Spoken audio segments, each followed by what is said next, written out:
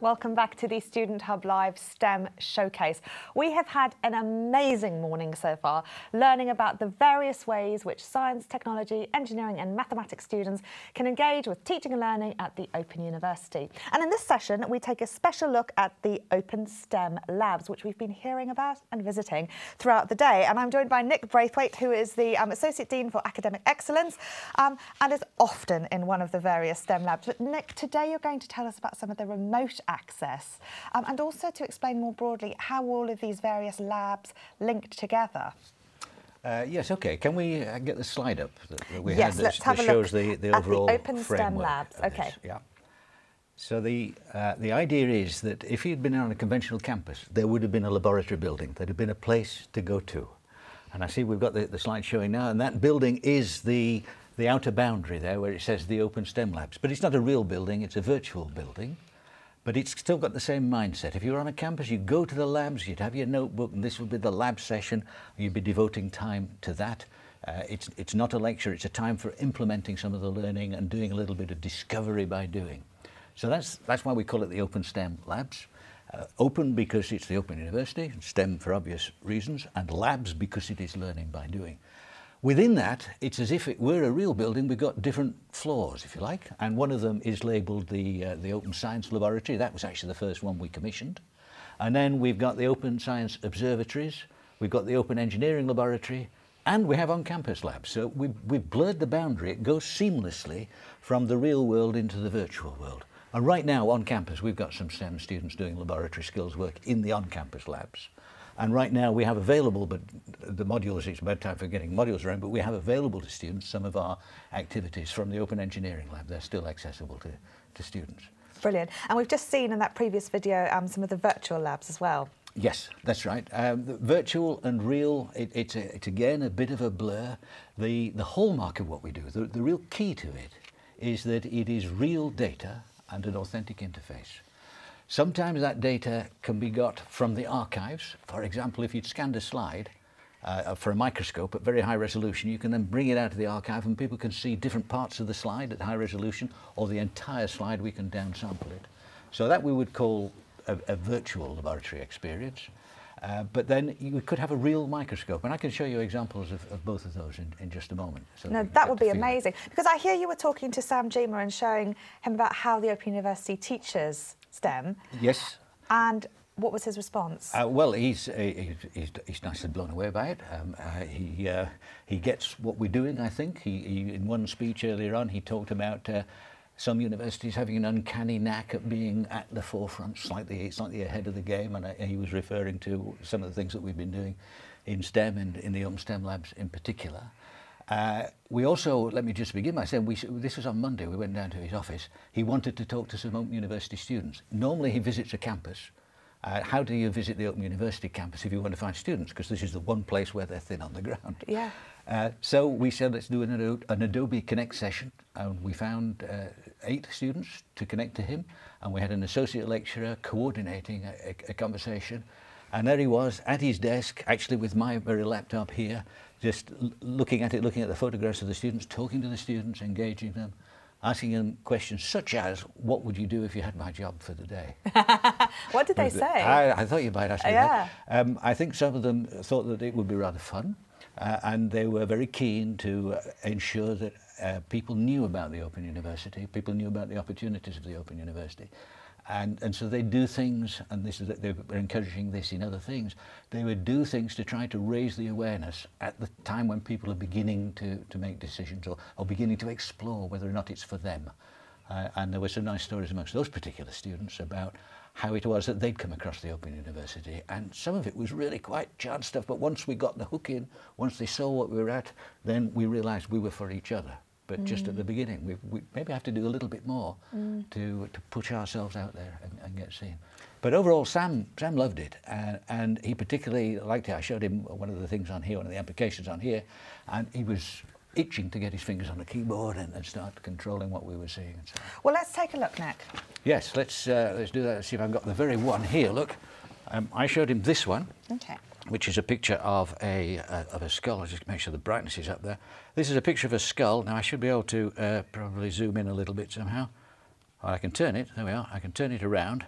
It's as if I'm holding it in my hand. Uh, and I think if I, wait a minute, there we are, if I zoom in, it's a, ooh, sorry, it's a bit, bit fast there, I can get up close to it. Uh, now I should be able, possibly, I might want to compare that with another one. So now I've got two skulls and I can rotate them side by side. This is an example of what we would call virtual. So this is a, a virtual experiment. These are real skulls. We've scanned them, we've taken the photographs and put them into this environment so that students can do things with these as if they were in the lab at the bench with the real skull, able to, to do things like making measurements. So let me just see if I can but demonstrate I imagine that. that this must be a lot easier in the sense of having something digital to measure. You must be able to get a lot more accurate data. Uh, yes, in principle, because we could make measurements from here, from that point on the skull to say this point here. That's going through the skull. That's not very good. It's probably better to go around the edge of the skull, just like you had a tape measure over yeah. the skull. Yeah. And and you could make possibly make a an easier, e more easily make an accurate measurement mm, mm, using mm. this digitally because we, we're measuring pixels along here and mm. knowing in 3D where the object is. Mm, so it's better than a tape measure in yeah, actual fact. Yeah. Uh, it's certainly easier than trying to hold a tape measure on and go, and go around a, a skull. So in a sense, it's not a bad way to do it at all. Yeah. Even if you had the real skull, you might want to digitize it so that you could uh, do it this way.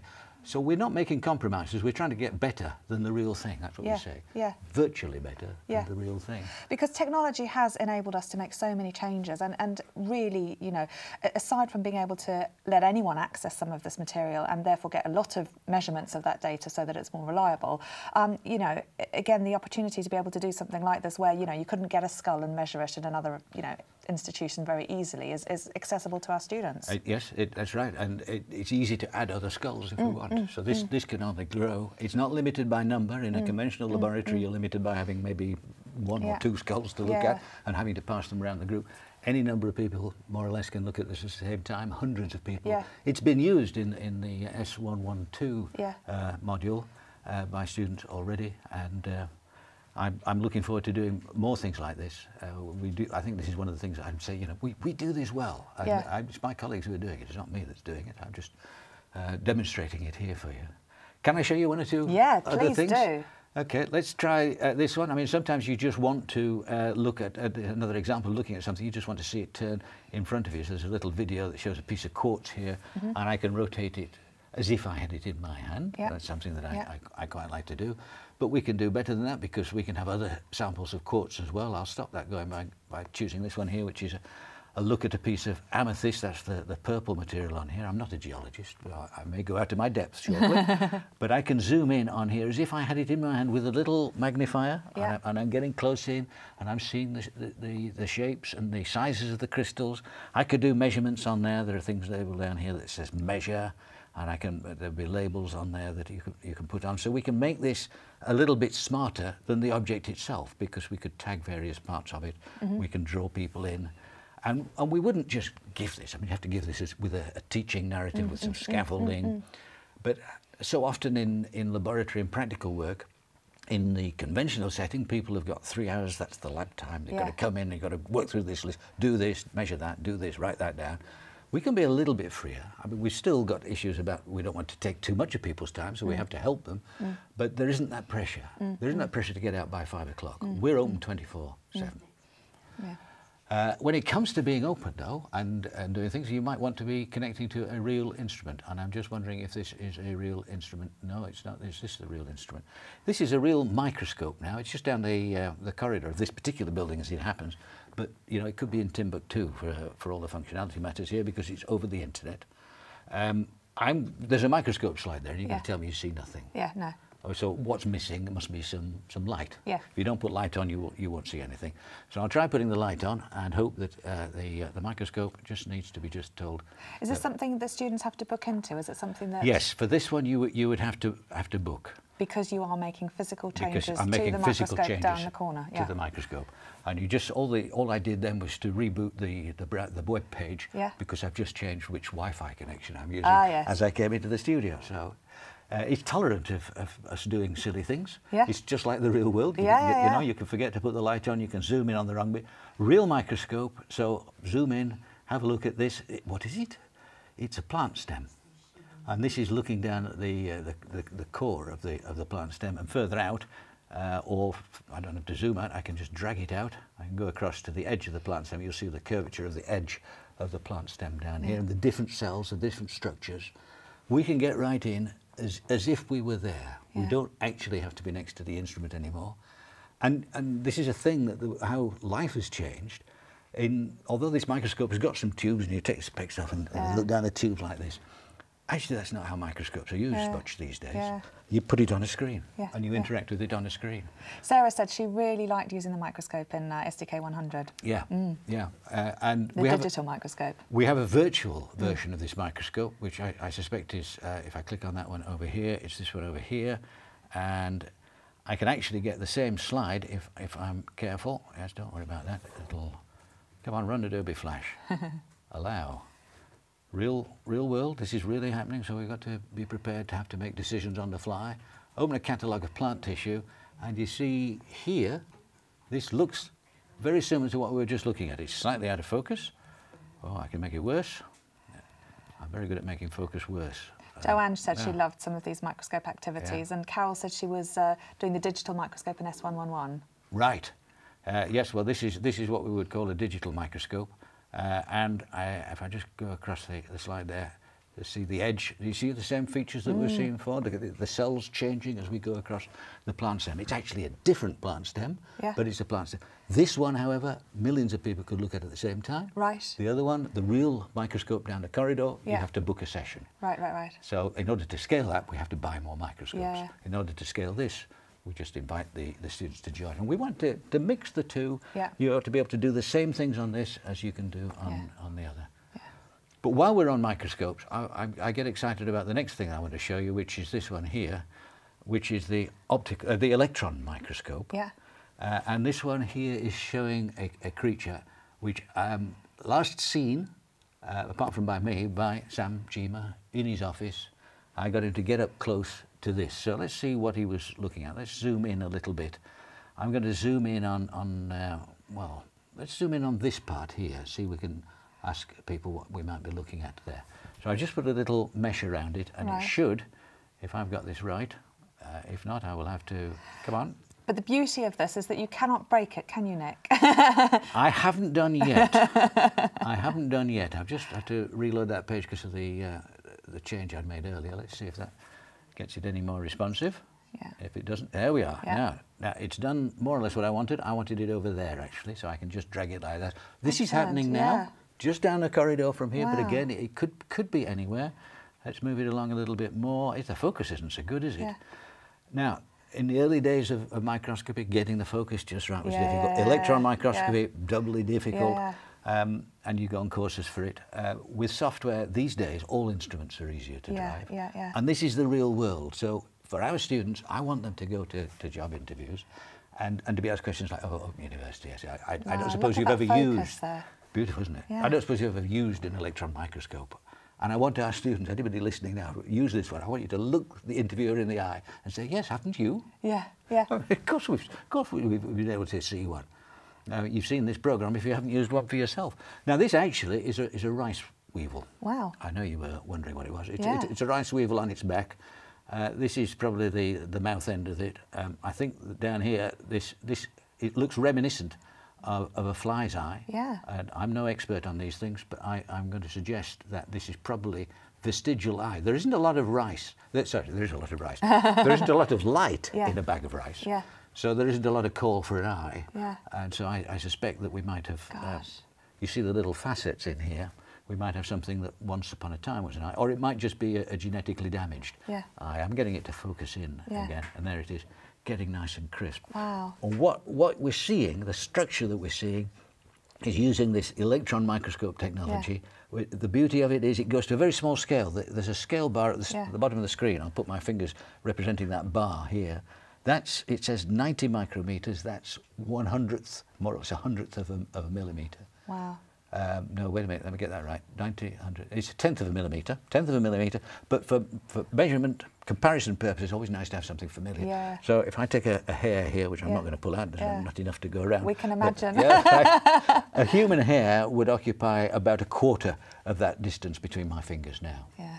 Four human hairs across there. So the hairs on a rice weevil are a tiny fraction of the hairs on a, on a human. Gosh, Nick, it's no wonder you've won awards for this. Uh, yes. You and the team. Yes. Okay. But perhaps I could uh, tell you about those. Yeah. Um, we've been uh, fortunate over the over the years. Um, we have here a Times Higher Education Award from 2014, which is Outstanding ICT Initiative. Uh, then uh, we the Times Higher Education Leadership and Management Awards in 2017. That was really to do with the, the project that we had about the Open STEM Labs, about bringing, making live these experiments that people can, can come and use online. Uh, then over here we have the, uh, the Guardian Teaching Excellence Awards, which came at a, at a really good time earlier this year in um, March, April time, I think it was. Um, yeah, it was probably April. Uh, and that was for what we call the, the delivery framework of this, which is the Internet of Laboratory Things. Mm. Like the Internet of Things, but mm. the Internet of Laboratory, Laboratory Things. things, yeah. You're connecting to a computer which is connected to an experiment. And it's real. Wow. Excellent. Nick, it sounds incredibly exciting, and, and I love the way that students can actually get their hands on something like this and how easy it is to be able to use. I guess once you know what you're looking for, and, and that's where the taught aspect comes into play, but also how reassuring that you're not going to break something and that you can have access again to a multitude of stimuli to look at. Yeah, well, that's an interesting point because when we first started doing this uh, with just the virtual experiments, talking to people from the Students Association few years back now, I remember that there, was, there was a nervousness being expressed about not liking to do this because we might break it. Yeah. And that was when it was entirely in the virtual world. Wow. Now we're, we're connecting to the real world, so actually the prospect of breaking is a, is a reality. Yeah. But that's for us to, Yeah, to build yeah, in yeah. sufficient protections. We need these things to be able to run without technicians present all the time. yeah. It needs to be fail safe. And in a way, you know, I think it needs to be able to go wrong. Yeah, yeah. Because that's what happens in real life. We mustn't protect people from the truth. I don't want to hide things. I don't want to say, this is the bit to look Mm, at, go there now. Go and discover and, and, and explore that way. That is really what Mm. learning, for me, about experience, learning by experience. It, it has to do that. You have to Mm. be able to, to, to get there, to ask a, a what if. What if I go too close to that? Mm. Um, when, and sometimes I do go too close to things and I knock them over. Yeah. Uh, you know, that, that I say to students in the lab, if, if you haven't broken it, maybe you weren't using it hard Yeah, enough. yeah. So I don't, I don't mind if things get broken. Deliberate damage, Yeah, don't no, like that. no. Willful damage, but I was just trying to find out more. Yeah. Is a, is a reasonable. And if you don't excuse. learn uh, by mistakes, you don't learn. So I think you learn more Mm, from mistakes, actually. Sometimes getting the right answer first time, you're not learning very much. Absolutely, You've really got to get it wrong, yes. Brilliant. Well, Nick, thank you so much. And um, even virtual labs have to live somewhere. So we're going to take our audience on a tour of the campus now Right. um, as we have a half an hour um, break. And then we'll be back live for our next session um, where we're going to look at student support and careers and, and show you some of the team up in our Manchester office as well. So we're going to do a live link up to there. So I hope you enjoy the campus tour. Keep chatting. Thank you, Nick, for giving us that that um, wonderful welcome. demonstration here. And we will see you back live at 1.15. See you then.